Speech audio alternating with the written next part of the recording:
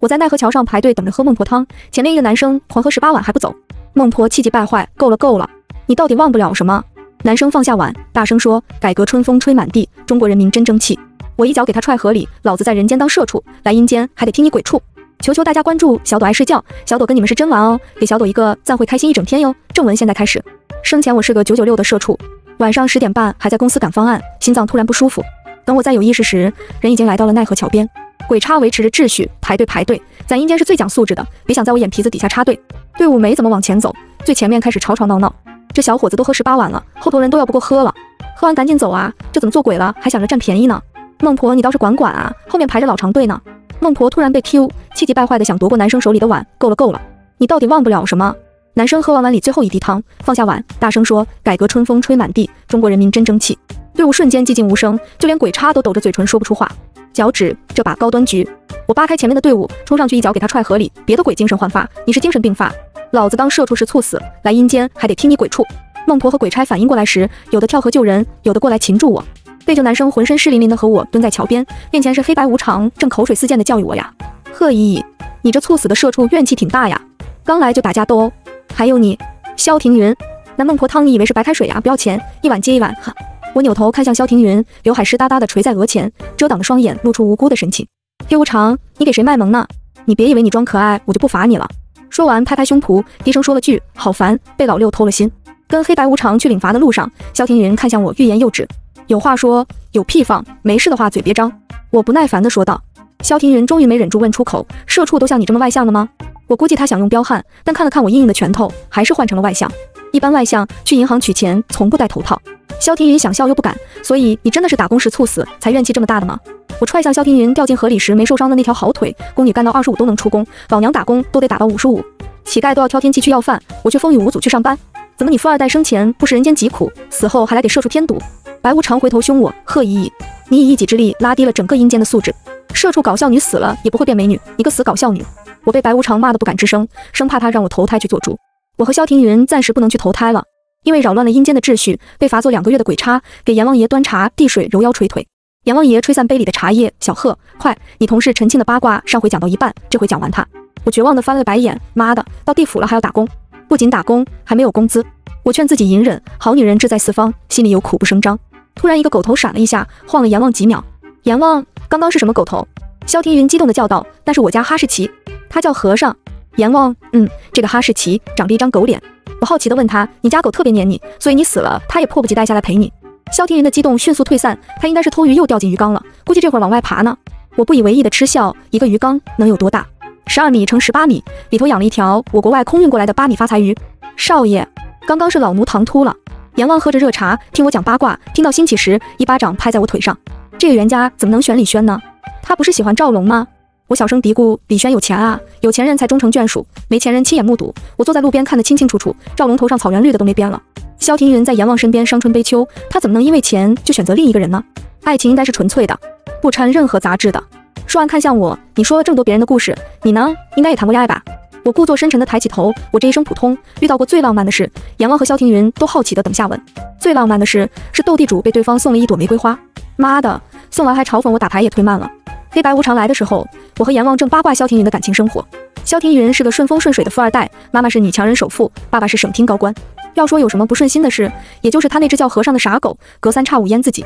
就连来这儿，都是因为看本山大叔的鬼畜视频，笑多了笑死的。阎王大手一挥，小黑小白那缺人，你俩先去吧，我睡一会儿，睡醒了再接着听八卦。我吐槽道，又没人陪着睡，孤单阎王两条腿。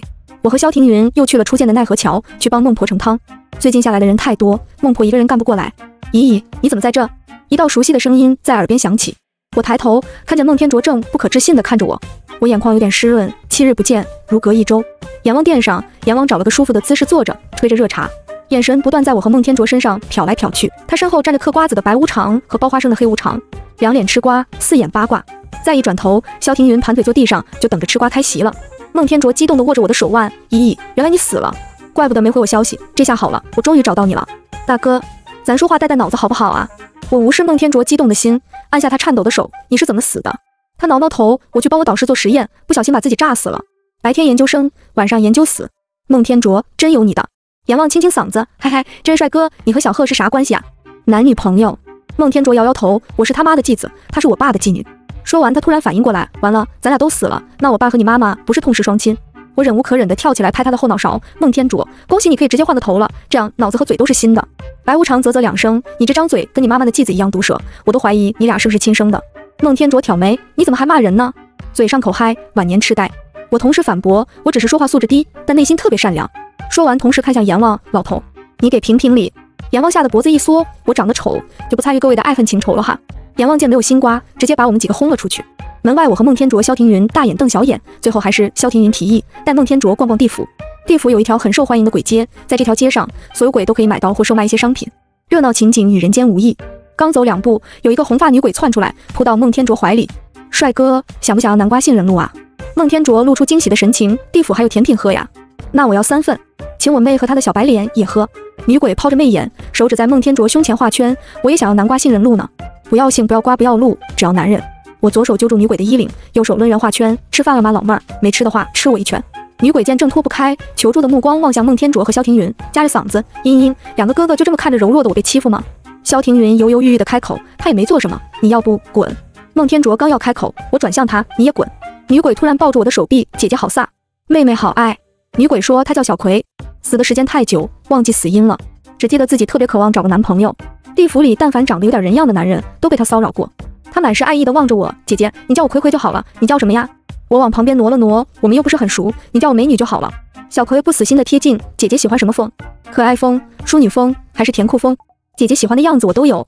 我抽抽嘴角，不好意思，我喜欢杨贤风。小葵委屈的撇撇嘴，姐姐哪都好，就这张嘴太伤人了。我把胳膊从小葵怀里抽出来，你应该庆幸我胳膊被你抱住了，要不我还能打人呢。孟天卓出来打圆场，哈 哈，小葵你别介意，我妹这张嘴随我嘛，但她性格很好，随我。我无语的翻了个白眼，我一直觉得我性格挺好的，直到你说性格和我一样，真想踹你两脚。萧庭云拉我往前走，给孟天卓使眼色，贺姨姨，能不耐让你这张嘴歇会儿，还没带你哥逛完呢。孟天卓收到萧庭云的示意，带上小葵跟着我俩。姨姨，你说你妈和我爸能知道咱俩死了吗？不知道的话，谁给咱俩烧纸啊？孟天卓总算说了句人话，我眉头一皱，要不等会儿问问黑无常，能不能给我妈托个梦？萧庭云阔气的拍拍胸脯，我尸体就在我房间，办完后事我爸妈肯定会给我烧纸的，到时候小爷养十个你都没问题，不用担心做穷人。我没好气的对他，以后别叫我穷人，太伤自尊，请叫我价格敏感性消费者。还有啊，我跟我妈托梦，不仅仅让她给我烧纸，我得告诉她一声我死了，不然只要我活着，我妈一个电话，我就算在叙利亚打仗，我也得开着坦克回家。萧庭云瞪大眼睛，你妈这么霸道？我摆摆手，你不懂，所有人都关心我飞得高不高，只有我妈会关心我翅膀硬不硬。小葵凑了个头上来，姐姐，那你硬不硬呀？硬了，拳头。小葵叽叽喳喳在前面带路，时不时的偷吃我豆腐。萧庭云不住的偷看。小声说道：“你也没有你表现的那么讨厌他吗？”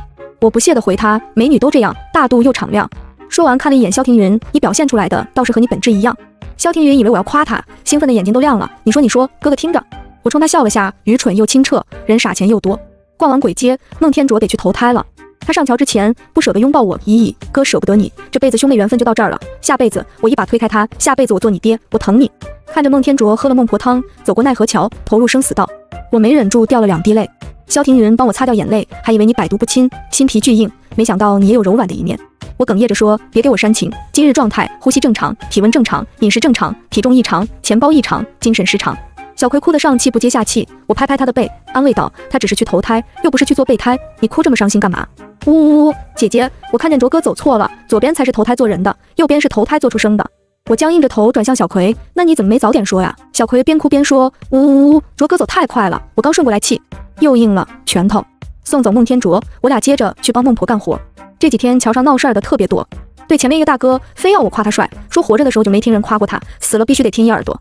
大哥操着东北口音，妹纸哥就问你能不能夸我两句，昧着良心也行，高低给哥整两句，让哥迷失下自我。哥，你相信一见钟情不？大哥兴奋的脸上肌肉都跟着颤抖。哦，你是想说哥长得太帅，让你一眼就爱上了哥？我拿过一碗孟婆汤，捏着大哥的下巴给他灌了进去。盲人对你一见钟情，悔恨能重见光明，投胎去吧你。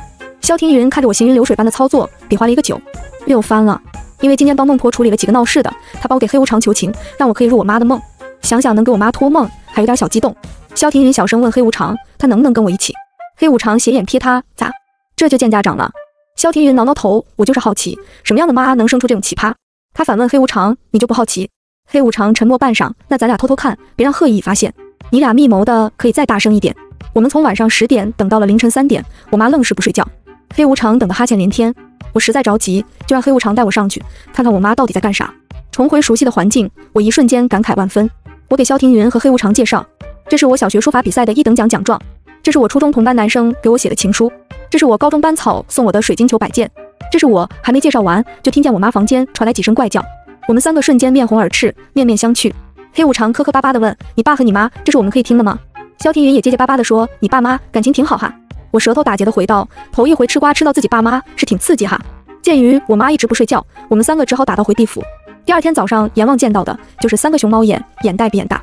阎王吓了一跳，你们三个半夜去偷鸡了？我抬抬眼皮，阎王早上好，有点小烦恼。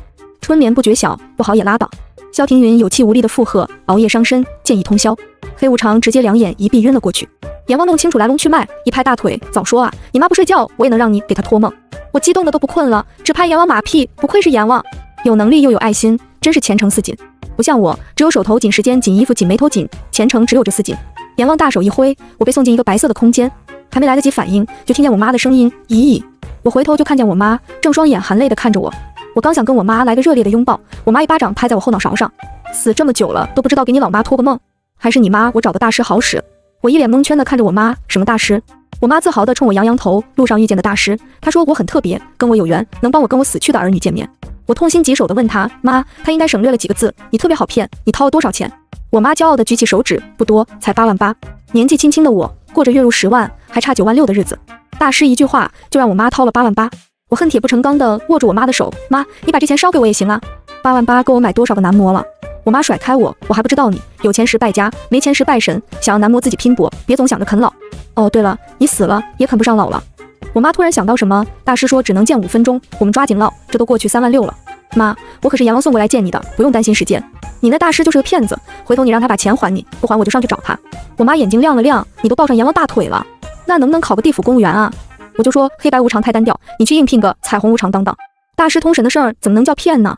你都不知道那大师有多帅，金城武知道吧？大师就比金城武差那么一点儿，好不容易让我妈停下来砍大山，跟他说了我的近况，还跟他说了孟天卓已经去投胎的事情。我妈突然沉默，我以为她是同时失去我和孟天卓，感到伤心，赶忙安慰她：妈，就算我和哥都不在了，你也要照顾好自己和孟叔。嗨呀，我说我忘了神妖事儿，你孟叔在机场等我呢，我俩订了巴蒂亚 VIP 大秀，听说可好看了。我妈喜滋滋地说，终于明白，安慰别人的时候是一套一套的，安慰自己的时候只想找根绳子一套。我想着怎么才能让我妈从丧女之痛中走出来，我妈想的是看 VIP 大秀的时候摆什么 pose。如果亲情留不住，那就重走精神路。我跟我妈鸡同鸭讲，对牛弹琴的聊了一个多小时，最后跟我妈分开的时候，我妈平静地说了一句话：依依，人都是要死的，我和你孟叔看得开，这辈子跟你做母女，我很开心。我被我妈这句话感动的，刚要唱两句“世上只有妈妈好”，我妈紧接着说：“我跟你孟叔去看大秀，估计更开心。”亲妈，你好歹等我走了再说啊！连我你都不在乎，那你在乎什么？在乎伦贝尔吗？其实知道我妈没受我离开的影响，我多少还是有些欣慰的。毕竟人到中年丧女丧子，我实在不敢想这种感受。阎王让黑无常接我回来，黑无常八卦的问：“你哭了多久？”我跟萧庭云打赌来着，我赌你没哭。我翻了个白眼，我心情不好搞活动，抽一位幸运朋友，从早被我骂到晚，你幸不幸运啊？黑无常缩缩脖子，我掐指一算，你今晚一定拉稀，因为我们心有灵犀。还没等我飞起一脚，黑无常一溜烟的跑远了。刚回到阎王殿，萧庭云贱兮兮的凑过来，阿姨情绪怎么样？你俩抱头痛哭了。我给他一个眼神飞刀。我妈要和孟叔去看巴蒂亚 VIP 大秀。萧庭云点点头，我就知道白发人送黑发人是难以接受。傻。我释然的笑笑，比起没心没肺这个优点，我妈的幽默简直不值一提。萧庭云小心翼翼的看着我，没事儿，这不还有我陪着你呢吗？我捶捶萧庭云的胸口，做兄弟，在心中。有事打我小灵通。我和萧庭云又恢复了打工日常。小葵经常带着好吃的来找我，在我的影响下，小葵也变成了嘴炮王者。那天我亲眼看到小葵兴高采烈哼着歌，结果啪叽被一块石头绊倒。我赶紧跑过去想扶他，就听见他小声说：“可惜没有小烧烤，要不在哪里跌倒就在哪里烧烤。”我后来问过黑无常，为什么小葵没有去投胎？他说小葵死的那会儿还不流行都去投胎，不想投胎的可以在地府安家。等小葵想去投胎的时候，早已经过了投胎有效期。小葵只好安慰自己，凡事看得开，生活才能嗨。于是开始在地府找男朋友。我决定趁我手里还握有点小权力的时候，帮小葵找个男朋友。我让黑无常把地府适龄的、长得还行的男鬼都叫过来。作为小葵的好姐妹，我先帮小葵把把关。看着面前的十六个男鬼，外加一个萧庭云，我后槽牙都要咬碎了。妈的，这一个个长得奇形怪状的是什么东西啊？黑无常审美就这么奇特吗？萧庭云坐在两个流着口水的男鬼中间，阴阳怪气的讽刺我：哟，觉得寂寞了，想找个男鬼谈恋爱了，还一下找十六个。贺姨，你胃口挺大呀，怪不得说我和黑无常是不三不四的朋友，不想跟我们一起玩，原来你喜欢这么二的呀。我看你今晚别熬夜了，早点睡吧。心里已经这么变态了，身体一定要健康啊！我顾不上回击萧庭云，一个鬼一个鬼的说回绝理由。你不太行，你属龙，我属猴，在一起会卡喉咙。因为你打游戏太菜了，所以不是我的菜。我配不上你，我这个人比狗困，比猪馋，比驴犟。你有你的诗和远方，我有我的懒和嚣张。说走十六个男鬼后，我说的口干舌燥，正拿起水杯喝水，萧庭云又甩给我一个眼刀。还好你没读研究生，要不你的个签就是在读研究生研究男高中生。我一口水喷出来，你别污蔑姐，姐不搞爱情，只搞钱。因为但凡用钱解决的问题，我都解决不了。萧庭云不信的问道：“那你怎么不接单？”我疑惑的回：“什么单？”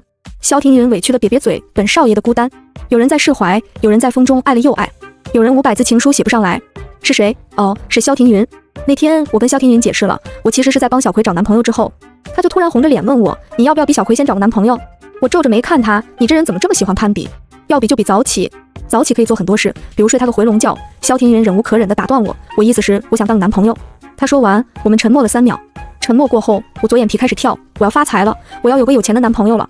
跳完右眼皮也开始跳，我不能迷信，他还没告白呢，但我实在没谈过恋爱。回想一下生前好朋友的谈恋爱流程，我清清嗓子，嗨嗨，那啥，表白是不是还得写情书啊？萧庭云疼得起身，我去管小黑借支笔。萧庭云的情书写了三天。三天里，谁给他发远程消息都只有一个自动回复，没回消息就是在放牛，在吵我就让牛轰你。看到这条自动回复，我给他回了一条，酷死了，我要奖励你两套房，我的左心房和右心房。后来萧庭云的情书被贴在阎王殿的公示板上，无他，太反面教材了。亲爱的依依，想做你的太阳，高兴的时候温暖你，不高兴的时候晒死你。游戏和你当然选你，打游戏会输，打你又不会。有福同享，有肉你长。滤镜美颜加磨皮，你就是我的万人迷。萧庭云的这封情书被阎王痛心疾首的警示每一个想表白的鬼，不要把所有雷都写进一封情书里。小葵知道萧庭云给我表白后，哭得上气不接下气。果然，长得好看的女人都会骗人。你昨天才叫人家臭宝，今天就自己脱单了，说好不让我受一点委屈，果然不止一点点。我尴尬的挠挠头，葵呀，你要站在发展的角度看问题，我这不叫找男朋友，而是提前享用了别人老公人生中最年轻的时光。好不容易劝着小葵哭哭啼啼去坐电梯回家，给她按了八层后，她又开始哭。啊，你可真会暗示。你八层还是有点喜欢我吧？自从萧庭云给我表白后，我简直就像穷鬼突变暴发户。他天天给他爸妈托梦，梦里念着我想要的物品清单。他爸妈天天捎东西下来。前天是北京烤鸭，昨天是阿玛尼的新款包包，今天是……嗯，今天的美男杂志怎么还没到？萧庭云咬牙切齿地掐了掐我左脸，我都给你表白了，还看什么裸男杂志？我被掐得龇牙咧嘴。你放心，万花丛中过，片叶不沾身。再说你不是还在男朋友试用期内吗？后来他爸妈实在烦了，在又一次萧庭云托梦的时候，他爸在梦里揪住萧庭云的衣领，一闭上眼就是你给我念单子，烧这烧那，白天要照顾你那条蠢狗，晚上还要听你念经。明天我跟你妈直接给你烧一个亿，你媳妇儿想要啥你自己买。我跟我媳妇儿要出国逛人世界了，他爸没骗他，第二天给他烧了一亿冥币后，就马不停蹄的带着老婆出了国。至于我为啥知道，因为他爸妈看大秀的座位就在我妈隔壁。他爸妈出国后，萧庭云又开始对土味情话上了瘾。咦，我是五点二十分睡的，十三点十四分醒的，我可以死，但我对你的浪漫不死。我眼皮都没抬，哦，很棒，会呼吸的男孩子真的很加分，很爱。萧庭云受到我的鼓励，开始变本加厉。咦，最近经常熬夜，我的肝好像不太好，你可以关心我一下，叫我小心肝吗？旁边的黑无常和小葵听完抖了一地的鸡皮疙瘩。我波澜不惊的回：小心肝，我的脑晃我的心，我全身上下的每一个器官都在说着我宣你。听完黑无常跑去河边吐了，小葵跑去跟阎王告状。后来在阎王的明令禁止下，我和萧庭云终于停下了这种畸形的土味情话模式。我和萧庭云两个月的鬼差打工生活很快到期，阎王吹吹热茶，冲我努努下巴，小贺呀，要不要考虑留下来转正，就在地府干啊？他身后的黑无常也冲我使眼色，留下来给我们讲八卦呀。想起我妈的那句应聘的彩虹无常当当，我笑出声。我眨眨眼问阎王，您老给我什么价？阎王吹胡子瞪眼，怎么还要价呢？咱这都是为爱发电，明儿我就把阎王殿改名叫发电厂。我撇撇嘴，有钱的劳斯莱斯，没钱的老死累死。地府皇室人真是不当人。阎王当没听见，转头问萧庭云：“小贺留下来了，你呢？”萧庭云看向我，我肯定也留下。阎王八卦的眼神又开始扫来扫去，你俩是不是准备登记啊？不是，你俩去找小黑登记入职表吧。路上，萧庭云问我：“留下来可就投不了胎了，你不是想投胎当个有钱人吗？”我背过手，是金子，总会被我花光。再说了，找个有钱的男朋友不行吗？萧庭云，你喜欢玩养成类游戏吗？萧庭云惊喜地看我，把你养成我正式女朋友的游戏吗？我摇摇手指，，V 我一百，看我茁壮成长。萧庭云说：“一百怎么够？我的都是你的。”我示意萧庭云附耳过来，接近我之前，你要想清楚，除了好看，我一无所有。萧庭云小声笑道：“我就喜欢你这种好看又有病的。”说完，牵着我的手：“那我这是适用男友转正了。”我亲他一口：“爱情事业双丰收，以后你住我心里头。”身后黑无常小声吐槽：“迟早把那条和尚带过来，按头吃狗粮。”番外，和尚来地府了。萧庭云他爸妈出国后，和尚跳进鱼缸没人救，终于被淹死了。一开始阎王还是很喜欢和尚的，觉得一条哈士奇养在店门口气派。可惜在和尚抓破他三件外套，弄坏五个茶杯，啃碎八本生死簿后，阎王改变了这个想法。他呵斥萧庭云，赶紧把这条蠢狗带走，越远越好。和尚暂时养在小葵家，每天天不亮，小葵就被和尚的嗷呜声吵醒，带他出门散步。晚上刚睡着，又被和尚的爪子拍醒，半睡半醒地带他出门遛弯。小葵也受不了了，他让萧庭云赶紧把这条蠢狗带走，越远越好。和尚暂时养在黑无常家，黑无常作息很规律，带着和尚出门玩毫无问题。但他最近交了个男朋友，两个人刚要亲热的时候，和尚就跳出来，一人给一狗爪子，甚至刚刚亲完，和尚就马上舔干净黑无常整张脸，真实演绎什么叫舔狗。黑无常男朋友用分手要挟黑无常，让萧庭云赶紧把这条蠢狗带走，越远越好。和尚暂时养在孟婆家，孟婆家里空荡荡的，和尚不拆家。孟婆天天出门散步，比和尚还勤快。孟婆也没有男朋友，不怕和尚捣乱。我和萧庭云都放下心来，孟婆和尚活该一家。结果没想到孟婆不会做饭，天天给和尚喂孟婆汤，导致和尚天天忘记自己是一条狗，总以为自己是河里的美人鱼，趁人不注意就跳下去摇头摆尾。负责清理卫生的鬼差愤怒了，他让孟婆赶紧把这条蠢狗带走，越远越好。后来事情终于得到了解决，因为孟天卓又回来了。他上次投胎走错路，投成了猪，刚长到五十斤就被宰了做杀猪菜。孟天卓猪身形态没办法再做回人，阎王只好把和尚魂魄放到了猪身上去投胎继续做猪。孟天卓魂魄就代替了和尚留在地府。我问孟天卓，请问做完猪做狗三百字感受有没有？孟天卓狗眼不屑地看我，好歹我生前智商比你高，你这叫不叫猪狗不如？和尚身孟天卓魂的哈士奇，阎王小葵孟婆黑无常争着抢着要。孟天卓疑惑地问我，我可是你哥，你怎么不争一争我的抚养权？我牵着萧庭云的手在他眼前晃了晃，你妹妹我最近恋爱脑，怕狗粮太多把你撑死。萧庭云手指张开跟我十指相扣，你说什么都对。至此全文完，感谢观看。